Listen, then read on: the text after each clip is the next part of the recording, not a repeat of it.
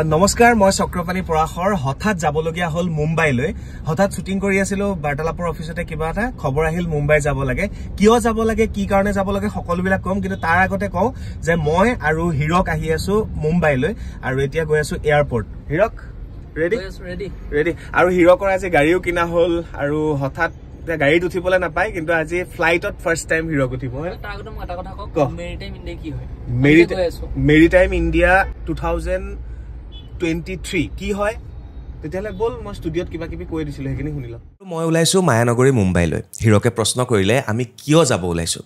উত্তৰটো কেৱল হীৰকক দিলেই নহ'ব। আমি সকলোকে দিব লাগিব। আৰু বিশেষকৈ বাৰ্তালাপৰ ছাবস্ক্ৰাইবাৰসকলক দিব লাগিব আৰু অসমবাসী ৰাইজক দিব লাগিব। ভাৰত চৰকাৰৰ বন্দৰ জাহাজ আৰু জলপথ মন্ত্ৰালয়ে আয়োজন কৰিছে গ্ল'বেল মেৰিটাইম ইণ্ডিয়া দুহেজাৰ তেইছ সন্মিলন। পূৰ্বতে এই সন্মিলন হোৱাৰ কথা আছিল দিল্লীত।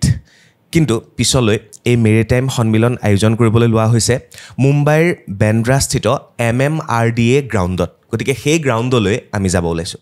যাত্ৰা আৰম্ভ কৰিলোঁ স্থলপথেৰে। তিনি বাজিল। হঠাৎ গৈ পাব লাগে আমি এয়াৰপৰ্ট।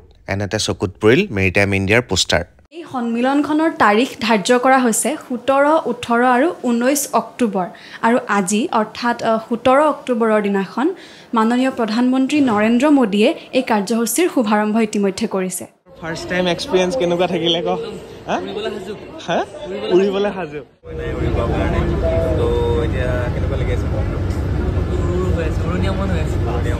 স্থলপথৰ পিছত এইবাৰ আমাৰ যাত্ৰা আৰম্ভ হ'ল বিমান পথেৰে। যাত্ৰা মুম্বাইলৈ। বাইদেউটো শুনি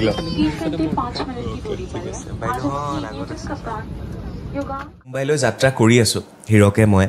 আৰু এইখিনিতে কৈ থওঁ যে সমগ্ৰ বিশ্ব বা আমাৰ পৃথিৱীখন চাৰিভাগৰ তিনিভাগেই জল পানীত আছে পানী আছে মাটি আছে এক ভাগ সাগৰ মহাসাগৰ আৰু নদী উপনদী এইসমূহে লৈ প্ৰায় চাৰিভাগেই জল বা পানীত আছে।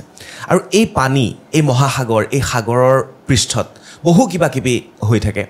তাত ব্যৱসায় হয় জল পৰিবহণৰ ব্যৱস্থা আছে বন্দৰ আছে। আৰু সেইসমূহৰ মন্ত্ৰী হৈছে কেন্দ্ৰীয় মন্ত্ৰী অসমৰ প্ৰাক্তন মুখ্যমন্ত্ৰী বৰ্তমান কেন্দ্ৰীয় মন্ত্ৰী সৰ্বানন্দ সোণোৱাল। আৰু এই সৰ্বানন্দ সোণোৱালে এই বন্দৰ পৰিবহণ বা জল পৰিবহণক লৈ যি আয়োজন কৰিছে যেনেধৰণে অৰ্থনৈতিক বিকাশৰ যি পণ লৈছে সেই পণ লৈয়ে কিছু আলোচনা চক্ৰ অনুষ্ঠিত হ'ব গ্ল'বেল মেৰিটাইম ইণ্ডিয়া সন্মিলনত। গতিকে তালৈ আমি গৈ আছোঁ। এতিয়া জানিব লাগিব আপোনালোকে এই গ্ল'বেল মেৰিটাইম ইণ্ডিয়া দুহেজাৰ তেইছ কি হয় নম্ৰতাই ক'ব। সাধাৰণ অৰ্থত যদি আমি ক'বলৈ যাওঁ তেনেহ'লে গ্ল'বেল মেৰিটাইম ইণ্ডিয়া দুহেজাৰ তেইছ হৈছে এনে এখন বৈঠক যাৰ জৰিয়তে ভাৰত তথা আন্তঃৰাষ্ট্ৰীয় সামুদ্ৰিক সম্প্ৰদায়ৰ সকলোৱে একেলগে মিলি সামুদ্ৰিক বিভাগটোৰ যিবোৰ সমস্যা আছে সেইসমূহ সমাধান কৰিব পাৰে। তাৰ উপৰিও বিভাগটোক কিদৰে আগুৱাই লৈ যাব কিদৰে নতুন নতুন পন্থা তেওঁলোকে হাতত ল'ব কিদৰে উন্নতি কৰিব এই বিষয়ত তেওঁলোকে একেলগে মিলি আলোচনা কৰিব। হীৰক আৰু মোৰ বিমান যাত্ৰা অব্যাহত থাকিলে। কিছু সময় আমি শুবলৈও চেষ্টা কৰিলোঁ। সময় বাগৰি গৈ থাকিল। প্ৰায় ছয় বাজিবৰে হ'ল। হীৰকৰো অলপ টোপনি আহিল। মুম্বাই আহি পালোঁ। হৰ্বল চাহিল আৰু Hirak. H H S C চ' আহি পালোঁ। এতিয়া ড্ৰাইভাৰ ৰৈ আছে যাব লাগে। এটা কথা কৈ দিওঁ। এই যাত্ৰাটোত আমি মানে স্থলপথেৰে আহিলোঁ। বায়ুৰ পথেৰে আহিলোঁ। আৰু নদী পথতো যাম আমি। হয় নেকি? য়েছ সেইকাৰণে Hirak first flight and first Mumbai যাত্ৰা হা কি নগৰী?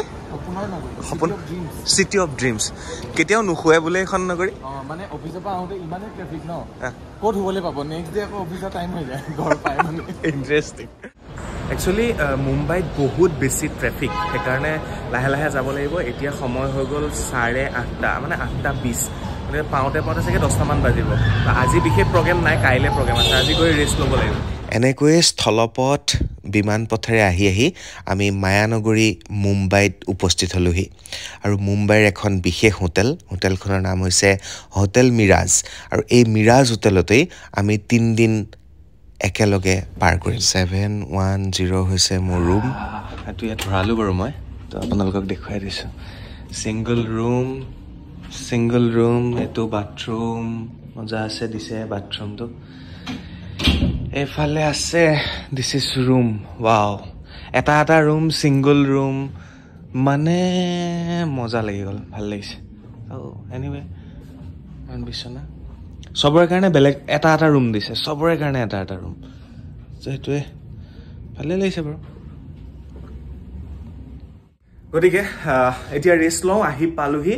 কাইলৈ ৰাতিপুৱাৰ পৰা এই ছাবমিটত যাম সন্মিলনত যাম। গতিকে আজি ৰেষ্ট ল'ব লাগিব ভাল লাগিছে।